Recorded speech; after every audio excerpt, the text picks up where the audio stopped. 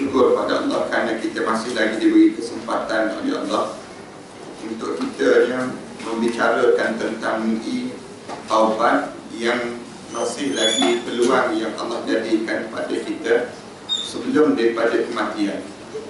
Biasanya apabila hampir dengan kematian ini, hampir saja dengan kematian, di kalangan kita kita akan uh, kalut dengan satu perkara sahaja itu yang dinamakan dengan kita nak sibuk untuk bertaubat pada Allah.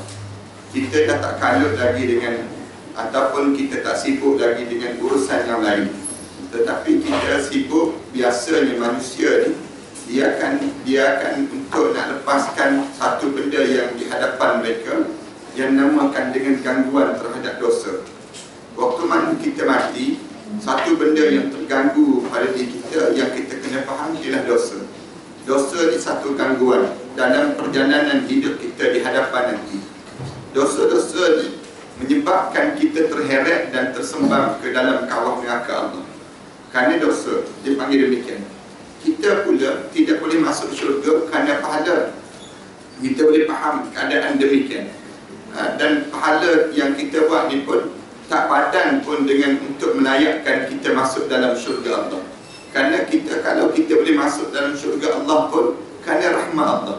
Diajar ini benda yang kita yakini dan kita imani dalam kehidupan kita seharian. Tetapi apabila kita nak menghadap depan Allah ni, gangguan dosa ini mengganggu pada perjalanan kita untuk masuk dalam syurga Allah. Dia akan jadi gangguan. Oleh kerana dia menjadi gangguan, maka tidak ada jalan yang menyebabkan orang ni boleh rasa boleh lepas kecuali setelah mana dosa-dosa itu hilang daripada jasad ni. Dosa hilang daripada jasad kita ni bagaimana? Dengan satu jalan yang disebut dengan taubat. Taubat ni lah jalan yang menyebabkan kita terbuangnya dosa-dosa dalam hidup kita.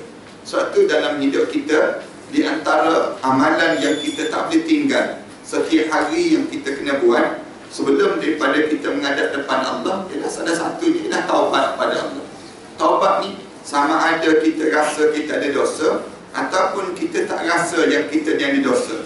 Maka kita diajar supaya sentiasa bertaubat dan bertaubat pada Allah sepanjang masa. Kerana orang yang dekat dengan mati satu benda yang dia nak buat ialah taubat. Taubat ni satu benda yang nak dilakukan. Dia tak sibuk nak makan ke bimbang dekat-dekat nak mati ni Allah nanti terlepas pula peluang makan lontong misalnya tak ada waktu mana dekat nak mati itu terfikir yang dia fikir apa dia? Taubat dah taubat dia boleh menyelamat diri dia. Taubat ni yang menyebabkan akhirnya perbincangan kita ni diceritakan tentang di uh, istilah taubat dekat dengan mati. Bagaimana kita nak taubat sebelum daripada kematian ini? Ayat ni yang benda yang besar. Kerana ada orang yang roh dia sampai dia halkum dah baru dia nak bertaubat. Ada orang yang waktu mana dia ni dia di saat mana saat mana dia nak keluar nyawa dia daripada jasad dia baru dia nak taubat. Ada orang yang hidup dia sentiasa dia bertaubat yang bertaubat. Yang bagaimana taubat ini diterima di sisi Allah. Ayat inilah yang kita bincang ini sehingga kan pada ayat yang terakhir surah An-Nur yang kita sebut di antaranya Allah Subhanahu wa taala sebut wa tubu ilallahi jami'an ayyuhal mu'minun la'allakum tuflihun Ya Allah Subhanahu taala sebut wa tubu ila Allah jami'an ayyuhal mu'minun. Allah gunakan kalimah demikian. Kamu dahulu kamu ada dosa. Di antara dosa kamu apa dia? Kamu buka aurat. Kamu buka aurat dengan siapa? Pada ayat yang ke-77 tu kan? Pada muka surat 77 pada ayat yang ke-31 surat Al-Mu'minun. pada minggu yang sudah kita bicarakan demikian. Maknanya sampai pada pada demikian kita ni ada dosa. Di antara dosa terutama bagi orang perempuan yang Allah cerita dalam ayat ni kan? Allah Subhanahu wa taala sebut kamu kena jaga aurat kamu. Wa yahfazna furujahunna wa la yubdina zinatahunna.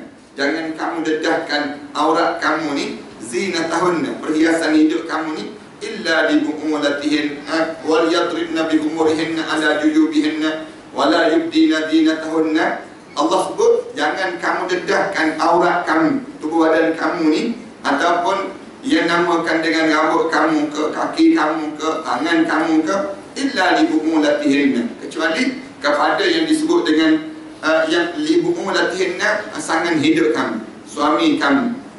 Yang yang namakan dengan li bu'ulatihin kecuali pada suami kamu. Au abaihin ataupun bapa-bapa kamu. Ini cerita lebih kurang 8 ke 9 orang yang yang kamu boleh dedahkan aurat kamu Lalu hujung ayat itu Allah cerita wa tubu ilallahi jami'an ayyuhal mu'minun. Itu yang yang asal ni.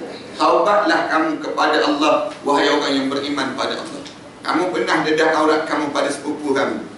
Bahasa yang mudah ni. Dalam hidup kamu kamu pernah mendedahkan aurat kamu pada adik ipar kamu. Kamu pernah mendedahkan aurat kamu kepada apa dia? Kepada orang yang orang yang tak patut melihat aurat kamu.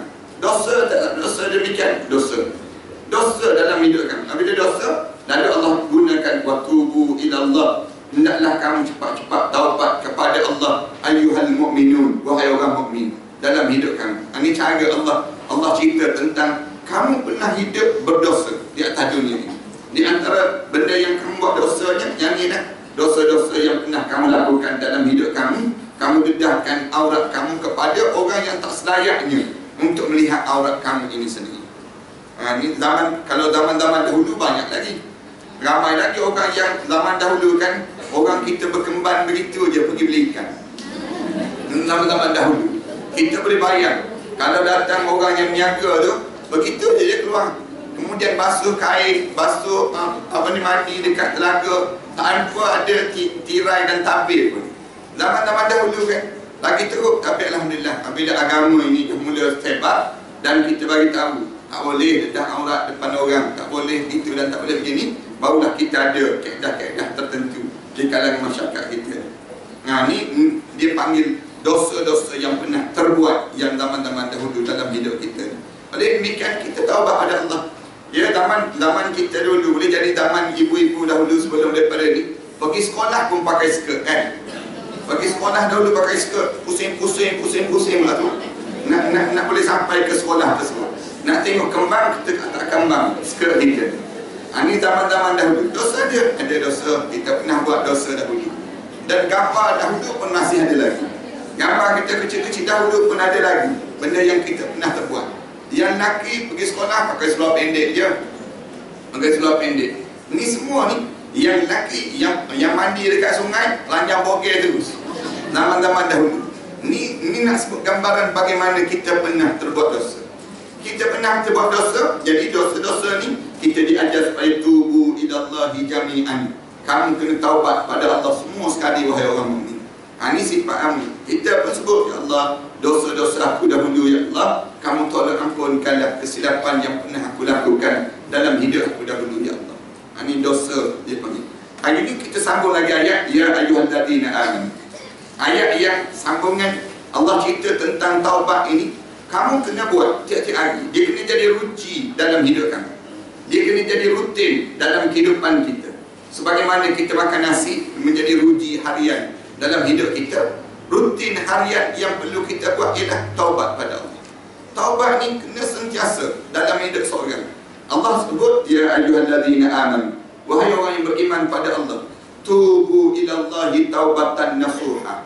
Taubatlah kamu kepada Allah dengan taubat nasuha taubat yang sebenarnya asa rabbukum an yukaffir ankum an yukaffir ankum sayiatikum wa yudkhilakum jannatin tajri min tahtiha al-anhar yawma la yu'dhillahu an-nabiyya wal ladina amanu ma'ah nuruhum yas'a baina aydihim wa bi aymanihim yaquluna rabbana atmim lana nurana waghfir lana innaka ala kulli syai'in ni wahai orang yang beriman pada Allah taubat dalam hidup kamu ni jangan taubat biasa-biasa jangan tapi taubatlah nasuha. Taubat nasuha ni apa dia? Taubat yang kita berazam tak akan ulang lagi dan ulang lagi perbuatan itu. Taubat yang kita azam kita nak lebih terbaik daripada yang sebelum daripada ini. Ini taubat nasuha. Taubat nasuha ni taubat jangan jangan kita takut dengan taubat nasuha ni. Jangan ada setengah-setengah orang dia tak nak lagi dah taubat nasuha taubat biasa-biasa sudah lah jangan. Kita je hidup kita ni biar taubat sungguh-sungguh. Nasuhan. Nasuhan ni dalam keadaan kamu betul-betul kamunya betul-betul kamu tidak kata main-main. Dalam kamu kamu menyesal di atas perbuatan yang kamu buat itu. Taubat nasuha asa rabbukum ayyukaffira ankum. Kerana mudah-mudahan dengan Allah akan hapuskan segala kesalahan yang pernah kamu lakukan. Yukaffira ankum sayiatikum. Mudah-mudahan dengan taubat itu Yang menyebabkan Habislah dosa-dosa kamu tadi. Yang anda sebut awal tadi kan? Dosa ni menarik seseorang Untuk terhumban ke dalam neraka. Bagaikan magnet Senang cerita Kalau kita ada dosa Kadang-kadang dosa kecil je. Dosa yang kita nampak tu kecil je Tapi dia tertarik kita masuk dalam neraka Contoh Anda buat contoh apa ni Contoh kita menyakitkan hati jiran Kan ada seorang perempuan yang dia malam hari dia bangun tahajud malam. Kemudian siang hari dia puasa. Siang hari dia puasa. Tapi kerja dia, siap kali mana dia masak, dia simbang sisa-sisa makanan ke rumah sebelah. Itu dia. Tak, waktu mana dia mati, dia mati. Lalu waktu mana dia mati, sahabat-sahabat tanya Rasulullah. Ya Rasulullah, bagaimana kesudahan orang ni ya Rasulullah? Rasulullah jawab, Hiya finnar, dia dalam neraka dalam neraka Allah. Padahal amalan dia tu malam bangun tahajud malam. Siang hari puasa sunat. Tapi satu benda ni menyakitkan hati jiran. Menyakitkan hati jiran. Ataupun kita buat yang lain. Kita buat contoh apa dia? Yang disebut dengan amalan bagus. Bagus semua amalan yang lain. Tapi kita menyinggung hati ibu kita. Orang lelaki terutama.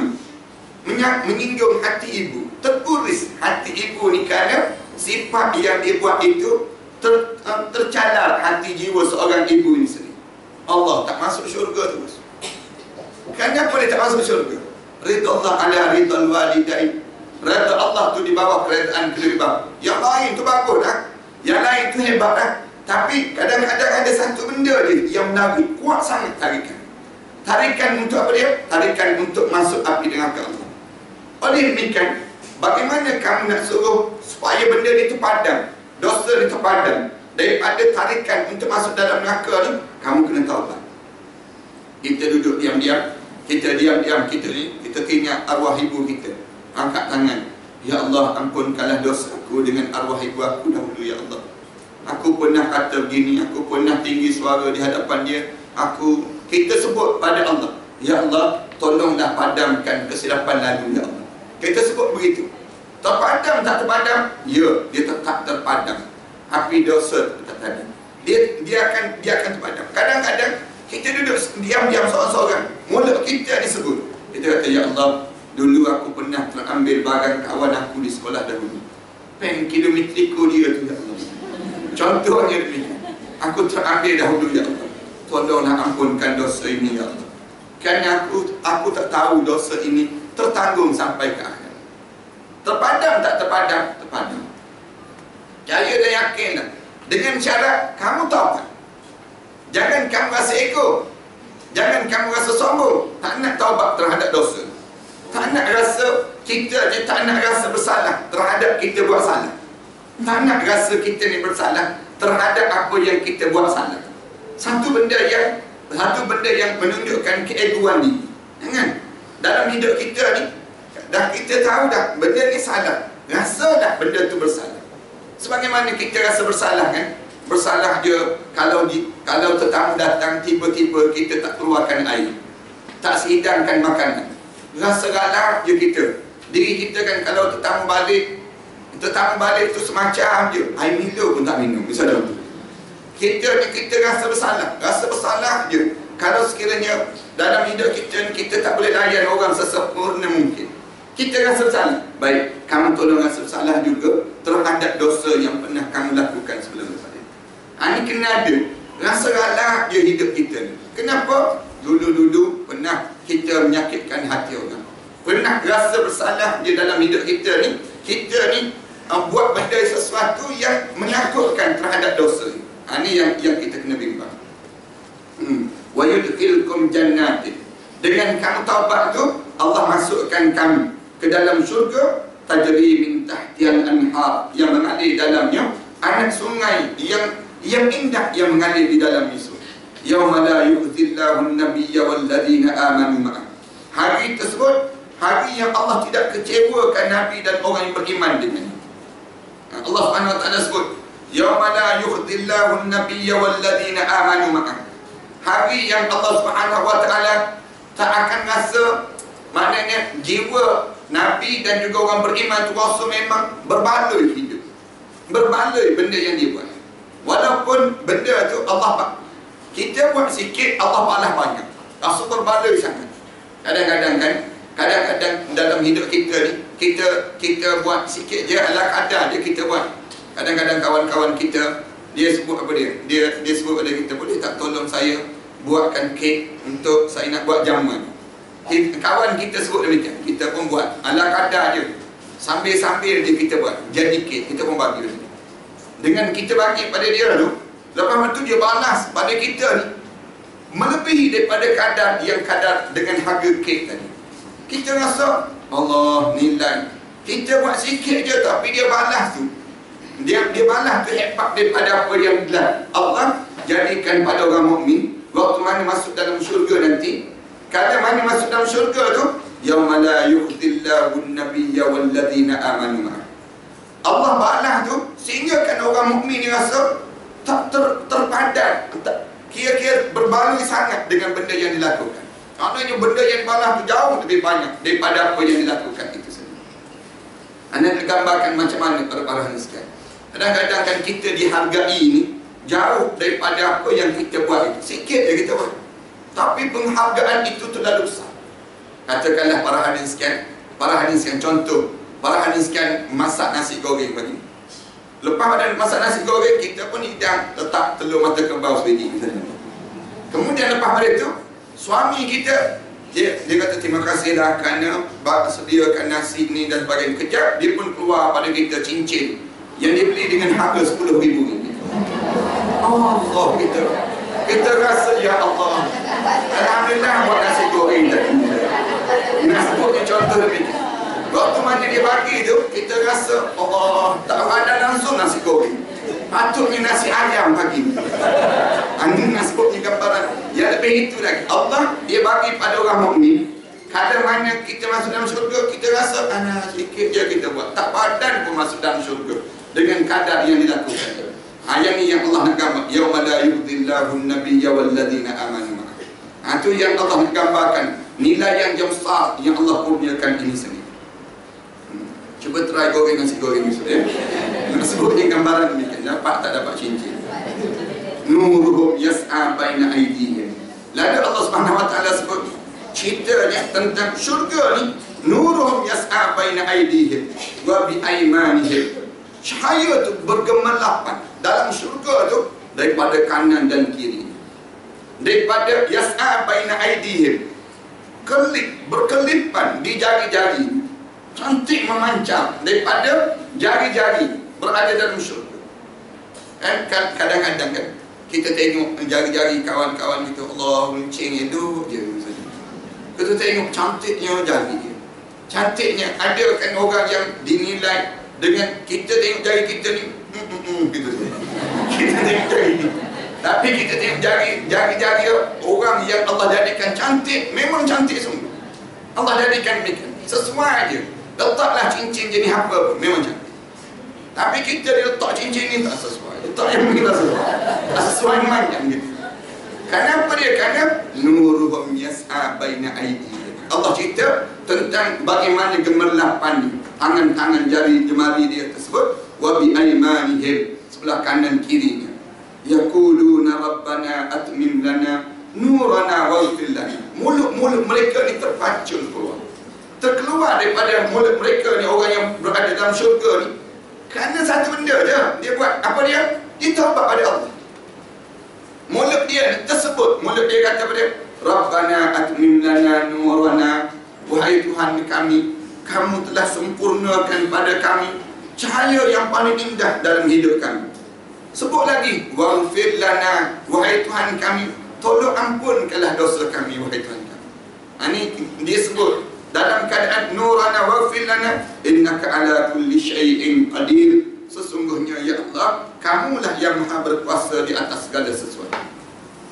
Ulama-ulama sebut Dia kata kenapa dia kamu dapat nikmat sebegitu Kerana kenapa dia kamu dapat nikmat sebegitu Di antara sebabnya kerana Kamu yang telah dikurniakan oleh Allah Hidup kamu untuk kamu taubat pada Allah Nak taubat pada Allah ni senang ke susah? Susah Susah nak taubat pada Allah Kenapa dia? Kerana keekuan diri Dalam hidup manusia ni di antara benda yang menyebabkan dia payah untuk dia nak taubat Ialah dia ego dan sombong Dia ego apa dia? Dia rasa dia tak ada dosa Dalam hidup kita ni kita kata Ada pun kita buat salah. Sering kali kan sama kita. Kita akan sebut pada diri kita. Kita buat salah pada siapa? Pun kita sebut. Tak ada pun buat salah. Padahal kita ada buat salah. Buat salah. Kadang-kadang dalam hidup kita ni Ada je buat salah. Tapi kita tak perasan kita buat salah. Kat mana kita buat salah? Dalam hati kita. Dalam hati kita ni Banyak mana kita sering buat salah dengan orang Dalam hati kita ni Senang je. Bangun tidur Kan ada biasa sebut contoh. Bangun tidur tengok muka suami kita Hidup lagi orang tua ni. Senang je kita. Maknanya gambaran Ada je benda yang kita nak salah. Nak marah kita ni ada je. Tengok pada menantu kita Menantu ke hantu. Dalam hati tak sebut pun pada mulut. Tapi nak sebut ni gambaran Ada salah. Ada. Ada salah. Tapi kita tak mengakui kesalahan yang disebut dengan hati-hati kita ni sini Allah Akbar. Kita ulama ustaz ni datang ke tak datang? Macam tu. Ada je kita ni. Maknanya senang je pada tu tu tak datang tu. Datang tu. Dalam, hati kita ada ada. Ada kita dalam keadaan demikian kita nak buat salah tu ada. Ada. Tapi kita nak nak sebut Allah maghfirli Ya Allah ampunkan dosa Ya Allah. Senang payahnya kita Nak sebut demikian Alah kita duduk Kita borak dengan suami kita Anak-anak kita Isteri kita ni. Biasa tak mulut kita sebut. Lepas pada kita bercakap borak je Mulut kita sebut Subhanakallahumma Wa bihamdika Ashadu an la ilaha illa anta Astaghfiruka Wa atubu Lepas ada kita cakap dengan kawan-kawan kita. Kita nak pisah je Ya kita borak je naik je kenderaan ada mulut kita sebut subhanallah wa bihamdika asyhadu an la ilaha illa anta astaghfiruka wa atubu ilaik. Jangan. Biasa kalimah ni kita sebut bila? Dalam majlis ya dalam majlis je kita nak sebut. Tapi kehidupan seharian kita ada kita nak tahu. Padahal Rasulullah kata kalimah ini kamu kena sebut bila? Setiap kali mana kamu jumpa dan kamu berpisah kamu mesti sebut kalimah. Berjumpa dengan orang Kadang-kadang kita jumpa dengan kawan-kawan kita, gelak ketawa kita, seronok kita. Tapi lepas pada kita berpisah dengan dia, ada kita nak sebut subhanakallahumma wa bihamdika asyhadu an la ilaha illa anta astaghfiruka wa atubu ilaik. Tak nak sebut. Kenapa tak nak sebut? Kerana kita rasa kita tak ada salah pun yang kita sebut sepanjang daripada percakapan kita dengan mereka tadi. Padahal sahabat kita tadi terbawa-bawa dengan apa yang kita sebut. Terbawa-bawa dalam tidur dia. Sampai termimpi-mimpi dah dia dengan kata-kata yang kita sebut tadi. Terguris hati dia. Tapi kita nak tak nampak. Kita yang kita nampak muka dia merah padan muka kita. Kita rasa seronok pula dengan kawan kita yang tersinggung dengan kata kita. Tapi ada kita nak sebut subhanakallahumma wa bihamdika asyhadu an la ilaha illa anta astaghfiruka wa atubu ilaik. Kerana apa dia? Kerana taubat itu menjadi sukar dan payah dalam hidup. Bila kamu nak taubat biasanya dekat nak mati. Ha, dekat nak mati. Libatkan kemudian syarat taubat ada empat jenis. Katanya tuan kita. Kalau kamu nak taubat ada empat jenis. Iaitu menyesal dalam hati. Anda pernah sebut dulu. Menyesal dalam hati kita. Misalnya ya Allah aku ni kenapa lah aku buat dosa ni? Kenapa lah aku lakukan benda ni? Kemudian yang kedua, meninggalkan perbuatan maksiat pada masa itu juga. Jangan tangguh-tangguh jangan. Kalau orang taubat, dia kata, bila kamu nak kamu nak kamu nak taubat ni, nantilah bulan Ramadan nanti kita taubat. Sekarang baru bulan 12 akhir. Lambat lagi nak masuk bulan Ramadan. Jadi tak kita tak kita masih ada lagi dosa. Jadi kita biarkan. Bila nak taubat nanti pergi Mekah. Selagi mana tak pergi Mekah, kita tak taubat. Bila nak taubat, ha, ni dia, dia sebut demikian. Maknanya orang ni belum lagi taubat. Taubat ni bila waktu mana kamu sedar itulah dosa, maka kamu taubatlah di saat itu juga. Jangan kita menangguh-nangguh dalam taubat. Dua, yang tiga, bertekad tidak akan mengulangi lagi perbuatan maksiat yang dan menanam sikap malu serta takut kepada Allah Subhanahu Wa Taala. Ha, yang tiga dan empat tu maknanya kita bertekad aku tak akan ulang lagi dosa ini.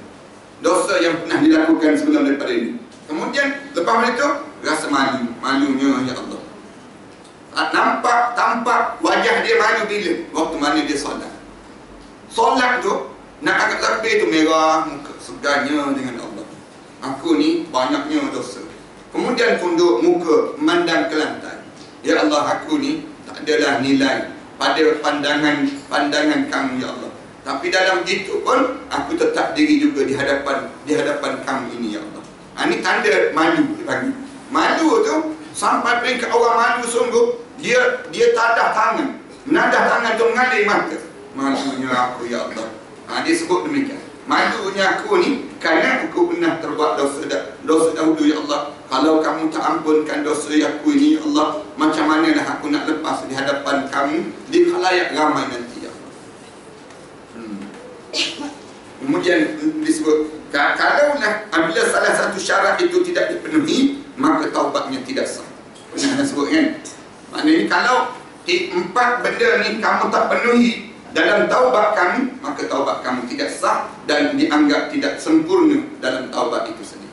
Taubat itu ada biar ada empat perkara tadi lah. Empat perkara dan anda pernah sebut ni kalau dosa kita dengan Allah.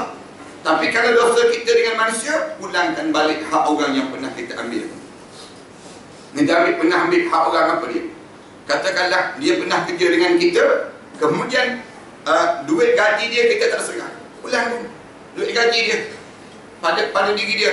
Kita kata tak jumpa dah orang tu Ustaz. Kita kata ambil duit tu masukkan dalam tabung demi. Niat ya Allah sampaikanlah pahala ini untuk orang yang pernah aku tak bayar gaji pada dia dahulu. Ini contoh ataupun kita pernah kawan dengan sahabat kita dahulu waktu mana di alam persekolahan dahulu kita pernah ambil duit dia dan kita tak bayar hutang pada dia. Ambil duit kemudian kita masukkan dalam tabung kita niat ya Allah sampaikanlah pahala ini untuk sahabat aku yang pernah aku hutang dengan dia dahulu ya Allah. Ini cara bagaimana nak lepaskan dosa kita sesama manusia. Kalau barang tu ada, pulang kembali. Pen kilometriko tadi kan? Pen kilometriko tadi. Cari-cari jumpa balik. Ada pula. Pen itu. Tengok-tengok ada. Zaman persekolahan dahulu. Hantar. Hantar kita. Kita tahu alamat dia. Minta maaf lah. Saya pernah terambil barang ini. Kita tengokkan dalam kes banjir. Dalam kes banjir ni ada orang yang hantar balik barang. Hantar balik barang. Letak di masjid. Letak balik. Apa dia beritahu jangan ambil lebih. Jangan ambil hak orang. Ada yang hantar balik. Saya minta maaf. Ditulis dekat plastik tersebut. Saya minta maaf kerana saya terambil lebih daripada hak yang sepatutnya ha, ni maknanya orang yang taubat betul dia taubat keadaan itu memang betul dan benar ni tak Barang sampai, orang tanya, dah ada barang? Tak ada. Tak ada memangnya. Tak ada memangnya. Tahu-tahu satu lori barang kat dalam rumah. Ni yang diceritakan oleh uh, apa dia kumpulan UNIC. Dia cerita pada anda. Dia cerita pada anda, dia kata, Ustaz, dia kata, kami pergi sampai di Kuala Kerai, dia kata, ada satu rumah tu, penuh barang dalam rumah dia. Kerana dia kerana, sebutnya, semua orang sampai, dia kata tak ada. Tak ada. Akhirnya dia timbul-timbul-timbul barang tu dalam rumah Maknanya orang ni tak tanggungjawab dalam dia bertaubat pada Allah Taala. Tu pernah tu nak hantar tu barang-barang bagi itu pernah. Ha, ini gambaran bagaimana jangan sampai peringkat kita ni dalam keadaan yang kianat terhadap amanah yang Allah kurniakan kepada kita. Ada yang mengatakan bahawa syarat taubat itu adalah mengakui perbuatan dosa. Kita mengakui dosa. Salah satu syarat taubat. Kemudian banyak mengucap istighfar Dalam hidup ni istighfar memanjang pada diri kita berterusan dalam hidup beristighfar. Banyakkan syarat di antara syarat kita tahu Istighfar untuk apa dia? Dosa-dosa yang tidak sengaja kita lakukan. Bahasa yang mudah. Taubat, apa beza di antara istighfar dengan taubat?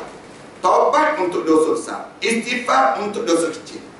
Kalau kita nak gunakan ini, kita diam saja, mulut kita sebab astagfirullah. Kat mana dosa kita? Yang yang kita tersilap lakukan, kita dengar. Dosa terdengar. Benda yang tak baik.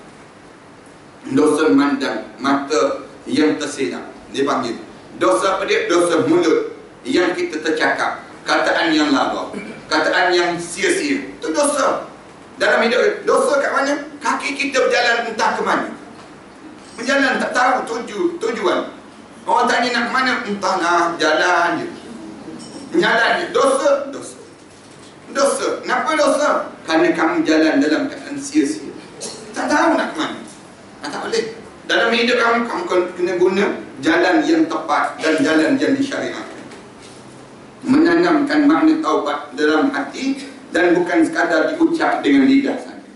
Ha, tanamkan dalam diri kita ni taubat dalam hati kita. Bukan kita sebut pada lidah je, tetapi kita sebut dengan keadaan tulus sungguh pada jiwa kita.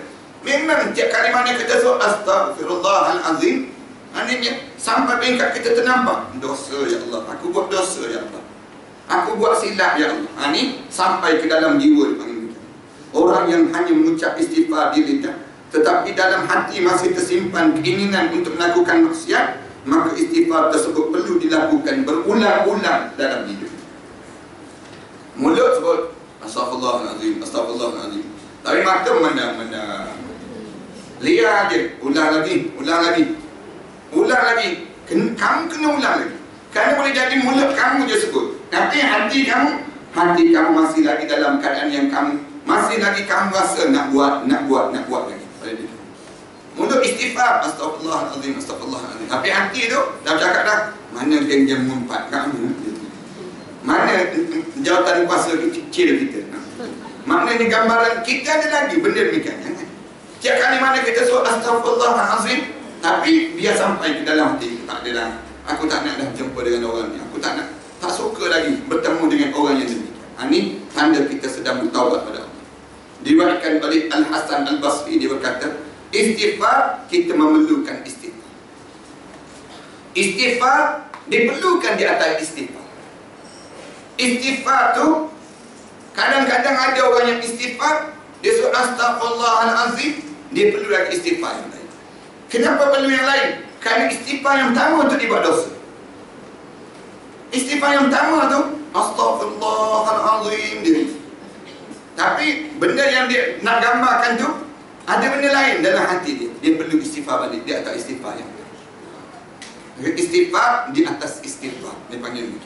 Ha, katanya Hasan Basri, istighfar kita memerlukan istighfar yang lain pula. Memerlukan istighfar yang lain. Kerana Istighfar yang pertama tu kamu riak. Istighfar yang pertama tu kamu masih lagi kamu rasa diri kamu ni tak ada dosa. Istighfar yang yang pertama kamu tu boleh jadi ada lagi benda-benda yang mengganggu dalam hidup kamu. Lalu memerlukan istighfar yang baru untuk nak kamu istighfar di atas istighfar yang pertama. Begitulah kata Al-Hasan pada zaman ini. Lalu bagaimana zaman kita sekarang? Kita akan banyak kan? Buka aja TV, Astaghfirullahaladzim. Buka TV tu astagfirullah. Allah, tapi tengoklah. Tengok. Awal awal tadi istighfar panjang je tapi tengok. Ha. Habis tu kena istighfar lagi. Banyak ni istighfar kita. Buka soal apa pun istighfar astagfirullah. Tengok tu kan. Allah mati pula kena sembelih. Saja contoh istighfar itu astagfirullah. Tapi lawa tu gak budak perempuan. Ha gitu. Lawan pula budak perempuan yang kena sembelih. Perlu istighfar lagi di atas istighfar. Istighfar di atas istighfar. Dia panggil demikian. Ha, ini makna. Lepas tu kita komen pula di atas tersebut. Eh, kena istighfar lagi. Maknanya apa dia? Kadang-kadang komen kita tu tidak membawa kebaikan langsung. Istighfar di atas istighfar. Hmm. Orang zaman sekarang sentiasa melakukan perbuatan zalim dan menjadikan taubat sebagai sesuatu yang tidak bermakna dan dianggap remeh. zaman ni tuan kita kita ni ada had 800 tahun yang lepas dia sebut zaman itu zaman zaman orang pandang lekeh je. Taubat orang yang taubat ni dipandang remeh je. Kalau zaman 800 tahun dahulu dianggap remeh zaman kita lagi remeh. Zaman kita sekarang lagi teruk di kalangan kita. Nak istighfar nak minta ampun pada Allah lagi jauh dah dalam hidup. Bangun tu ketak-ketak takut. Takut malam. Takut bukan apa. Takut dengan terhadap dosa. Bimbang ya Allah aku tidur panjang banyaknya tidur. Kita ni kelam kabut pergi ambil air wudu dalam bilik air tu menangis teresak-esak belum lagi solat. Belum lagi solat. Solat kita solat tu kita berdiri. Ya Allah banyaknya dosa aku ya Allah kita dalam keadaan demikian kalau kita boleh buat memang kamu ni orang yang Allah Taala menjadikan pilihan Allah di atas muka bumi. Kita tak bangun tahajud malam sibuk bagi tahu pada keluarga kita. Tak sedar ke mama bangun malam? tak sedar ke? Tak sedar ke? Tak nampak ke abah ni atas dain nampak hitam? sebut pada keluarga kita. Baru je. Kita nak sebut gambaran demikian. Kita nak sebut tahajudnya kita. Padahal kita kan malam istighfar kan. Malam kan mulut kita berulang kali, berulang kali kan kita suruh astagfirullah, astagfirullahalazim. Tapi pagi ni kita kena istighfar balik di atas istighfar kita. Ha, itu dia jadi demikian. Allah Subhanahu wa taala firman, "Wa idza talaqtumun nisa fabalagna ajalahunna fa'amsikuhunna bima'rufin aw sarrihuhunna bima'ruf wa la tumsikuhunna dhiraran lita'tadu wa man yaf'al dhalika faqad zalama nafsahu ولا تتخذوا آيات الله هزوا واذكروا نعمة الله عليكم وما أنزل عليكم من الكتاب والحكمة يعظكم به واتقوا الله واعلموا أن الله بكل شيء عليم Apabila kamu mentalakkan istri kamu Wa idha talaqtumun nisa Kamu menceraikan istri-istri kamu Kemudian Lalu mereka mendekati Waktu akhir iddah ha, Faham? Fabalak na'ajalahun fa'amsikuhunna bima'ruf. Dan lalu maka rujuklah kamu dengan cara yang baik. Ataupun ausarihuhunna bima'ruf ataupun cerailah mereka dengan cerai yang baik. Cara dalam agama dengan kita apabila berlaku cerai dalam dalam agama ini cerai talak satu. Seorang isteri dia jangan keluar lagi rumah. Cerai talak satu talak dua. Jangan keluar lagi rumah. Dia duduk dalam rumah. Duduk dalam rumah dengan suami dia dalam tempoh indah dalam tempoh indah dia boleh cuma dia kena tutup aurat dia kena tutup aurat. Kemudian dia kena jaga batasan. Tu keadaan, keadaan dia panggil. Kenapa? kerana sebaik-baiknya waktu tempoh itu tempoh dia boleh rujuk lagi. Tempoh rujuk lagi. Apabila dalam keadaan demikian dia boleh tempoh rujuk. Dia tengok mandang si suami pula makan dah Maggi misalnya. Si isteri pula macam macam sibuk suami ni tengok kesian. Dia timbul perasaan kesian. Isteri pun kesian pada suami. Yang menyebabkan dia akan balik-balik rujuk balik. Ha, itu dia akan jadi demikian. Tapi kalau sekiranya kamu nak cerai memang bertekad tak nak dah. Tak nak dah. Tapi cerai salah satu. Sarrihuhunna au sarrihuhunna bima'ruf. Kamu cerai itu jangan cakap banyak jangan kata apa-apa lah. Jangan kamu kata oh dia ni memang jahat. Dia ni memang tak layak. Sarrihuhunna bima'ruf. Kamu cerai dia dengan cara yang baik. Jangan saling kata mengata jangan maknanya saling saling buat macam biasa lah dalam hidup. Wala tumsikuhunna dhiraran lita'tadu. Jangan sekali-kali kamu kamu rujuk mereka untuk membawa mudarat kamu wahai orang lelaki memang hak kamu untuk kamu nak rujuk pada seorang isteri kamu. Maksudnya hak rujuk ni berada pada seorang suami. Kamu boleh rujuk tapi jangan kamu rujuk untuk menyakitkan dia memudaratkan dia. Memudaratkan dia ni apa dia? Saja dia rujuk. Jangan sentuh jangan apa kita bagi dia hidup tergantung je begitu ha, dosa kamu buat demikian Allah sebut dirara li ta'tad wa man yaf'al dhalika faqad zalama nafsah siapa-siapa yang buat demikian dia sedang melakukan kezaliman pada diri dia sendiri dia lakukan kezaliman pada diri dia sendiri bukan zalim pada perempuan itu tidak tetapi dia buat zalim pada diri dia sendiri wala tattakhidhu ayatillahi huzwa dan jangan sekali-kali mereka menjadikan ayat Allah itu sebagai mainan je dalam hidup mereka. Hukum-hukum Allah itu jadi sebagai permainan pada mereka. Wa nikmat Allah alaikum. Kamu tolong kenal balik nikmat Allah ke atas diri kamu. Wa ma anzala alaikum minal kitab wal hikmah.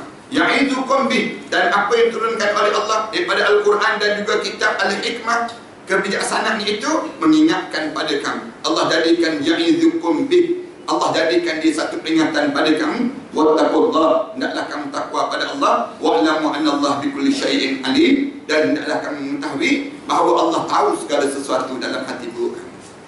Ha, senang cerita ni Allah nak sebut gambaran demikian. Maknanya kalau berlaku dalam hidup kamu dalam keadaan demikian, kamu kena pastikan diri kamu jangan kamu buat zalim sehingga kamu payah kamu nak bertaubat pada Allah Subhanahu wa taala.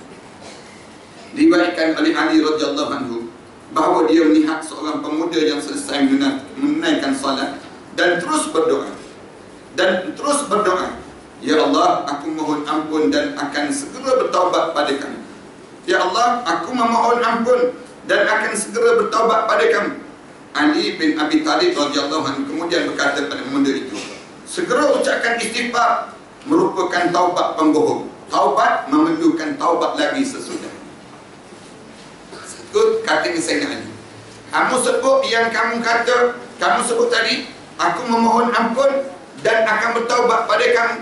Sebenarnya kamu bohong yang pertama Dan yang kedua itu perlu pada kamu Sayyidina Ali sebut demikian Maknanya Jangan kamu istighfar je Tapi taubat kamu tak nak buat Saya akan bertaubat kemudian nanti Hari ini istighfar dulu lah Dosa-dosa kecil misalnya tetapi yang taubat nantilah akan bertaubat kemudian jangan. Dalam hidup ini buatlah sesegera mungkin dalam bertaubat pada. Amirul Mukminin ditanya, apa sebenarnya yang dikatakan dengan taubat? Dia menjawab, taubat adalah satu kataan yang mempunyai enam makna. Kalau sebut taubat ada enam makna dalam kalimah taubat. Apa dia? Itu taubat. Itu taubat untuk dosa yang telah lalu. Kita minta ampun Ya Allah Ampunkanlah dosa yang lepas Yang aku pernah lakukan Yang kedua Menyesal kerana telah meninggalkan kewajipan Allah aku Ya Allah buat dosa itu Ya Allah ha, Ini menyesal Aku tak solat Ya Allah dahulu Itu tanda kita kita taubat. Dalam dalam taubat Mana menyesal Kenapa lah aku tinggal solat? Tak mudah tinggal solat ni. Kenapa yang aku buat? Tinggal solat dua rekaat Ya Dua rekaat semayang subuh. Dua rekaat je kita sebut. Tapi 180 ribu tahun dalam neraka. Baru dua rekaat subuh. Baru dua rekaat subuh. Eh 160 ribu tahun. Baru dua rekaat subuh. Bayangkan kalau sehari tinggal solat sehari tinggal solat 1.36 juta tahun dalam neraka kita kita rasa kenapa lah aku pergi tinggal solat tak patut langsung aku tinggal solat pada demikian dia menyesal kerana dia tinggal itu. Qadar walaupun qadar itu tak sama. Walaupun qadar itu tak sama. Tetapi kita buat dulu solat, solat taubat. Taubat kita tadi qadar tadi. Yang kedua, yang ketiga menolak kezaliman. Apabila kamu taubat, maknanya kamu tak buat zalim lagi kepada Kamu tak berani lagi nak buat zalim. Yang ketiga, yang keempat, menakutkan diri agar sentiasa taat pada Allah. Tanam dalam jiwa kita ni rasa takut. Aku tak nak dah tinggal solat. Aku tak nak dah buka aurat. Orang tanya kenapa? Alah buka sikit-sikit je. Bukan buka banyak pun. Orang sebut demikian. Sikit pun tak nak kita sebut. Rambut seribu tahun dalam neraka misal contoh kita sebut demikian. Kalau separuh sikit banyak mana dalam neraka Allah? Ha, kita sebut demikian. Gambaran. Kita gambarkan pada mereka. Dia takut dia takut nak buat dosa. Empat yang kelima yang disebutnya memerintahkan diri agar sentiasa merasakan ketaatan. Paksa diri ni buat. Lawan dengar je deringan jam dengar je azan subuh paksa diri bangun. Bangun jangan tak bangun. Kita sebut demikian. Lepas ada solat dua rekaat subuh dua rekaat nak bagi balik-balik nak pada diri kita. Kita ajar demikian. Mana kita rasa Kemudian sampai tu solat Kita sebut. Sekejap je bukannya lama pun. Ini diajar memaksa diri untuk taat. Meminta diri. Kemudian menghiasi diri dengan ketaatan pada Allah. Ha, lepas itu dalam taubat kita mula hiasi diri dengan taat pada perintah. Apa dia hiasi diri? Ni duduk dalam majlis ilmu menghiasi diri. Kita datang duduk mendengar majlis ilmu. Kita menghiasi diri kita. Mewarnakan warna yang indah untuk wajah wajah kita. Di akhirat nanti. Kerana nama-nama kita dicatat di sisi Allah. Dicatat orang ni datang orang ni datang. Orang ni orang ni dekat depan TV je tengok Tom and Jerry. Misal contoh nak gambarkan tentang gambaran pada diri dia kita mewarnakan diri kita memaksa diri kita ni biar nampak hiasi dengan ketaatan nampak pada diri kita ni ketaatan pada diri kita gambaran ni dan yang akhir sekali menggantikan ketawa dengan tangisan tatkala mana ter teringat ter terhadap dosa yang pernah kita lakukan. Teringat dosa je mengalir mata. Nanya kenapa tu mengalir mata? Kita kata, saya teringat dosa lama saya. Dosa lama saya ni menyebabkan jiwa saya. Ha, dia jadi demikian. Saya bimbang kalau kalau Allah tak tak tak, tak terima taubat saya. Yang yang menyebabkan tak ada lagi hilai tawa untuk diri biar dia mengalir mata mengalir mata dia setitik air mata kerana takut dosa tu 10 ribu tahun api neraka Allah terpadam untuk dia padahal dia mengalir mata takut dia ni sejuk untuk badan dia ini kenapa takutlah takut kalau masuk neraka macam mana lah ha, ni nak sebut gambaran diri ni ha, ni gambaran orang yang benar-benar bertaubat dalam hidup kita berhenti sakat dia nak sambung pada akan datang Kan lepas pada ni dengar-dengar sampai taubat sungguh-sungguh kita. Tak ada dengar je. Kerana kita ini tahu. InsyaAllah kita ni mudah-mudahan Allah bagi kebaikan pada kita dalam kita ketaatan kepada Allah. Alaihi Muhammad wa ala alihi wa sahbihi wa sallam. Alhamdulillah rabbil alamin.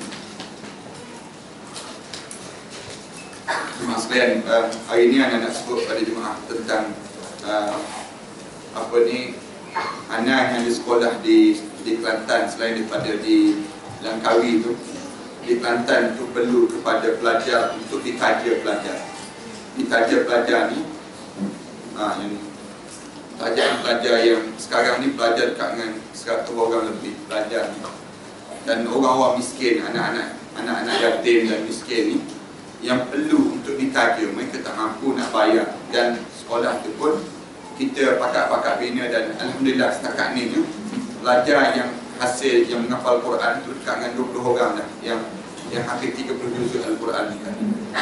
Jadi uh, kita ni sejak daripada 7 tahun yang sudahnya anak ni sentiasa umum dekat sini. Siapa yang jemaah yang ada kelapangan rezeki siapa yang nak taja pelajar.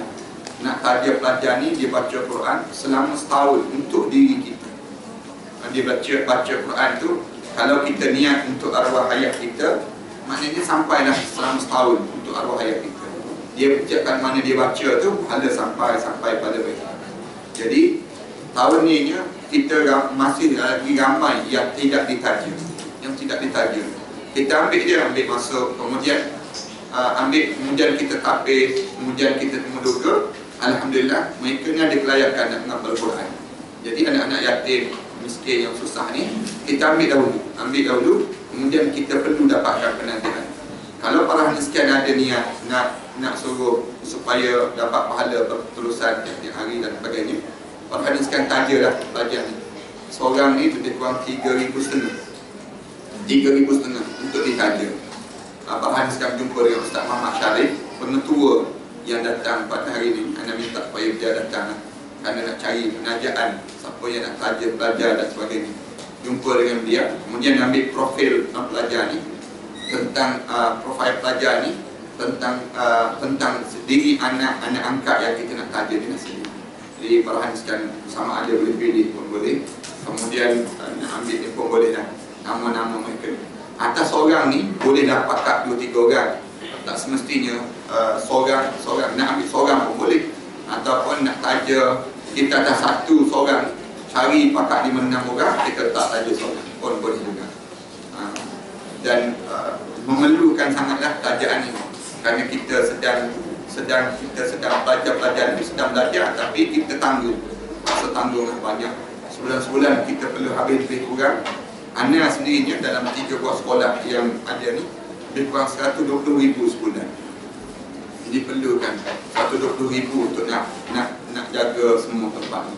Jadi mudah-mudahan kalau Pak sekian ada ada kekuatan sikit-sikit kita tak perlu kalau bagi 120 ribu tu selesai dah masalah. Tapi kalau kita boleh bagi sikit-sikit sikit-sikit ni satu rahmat lah. Mudah-mudahan. Satu. Yang keduanya uh, suka nak sebut juga terhadap rumah banjir ni. Rumah mangsa banjir tu setakat ni kita telah bina rumah ni.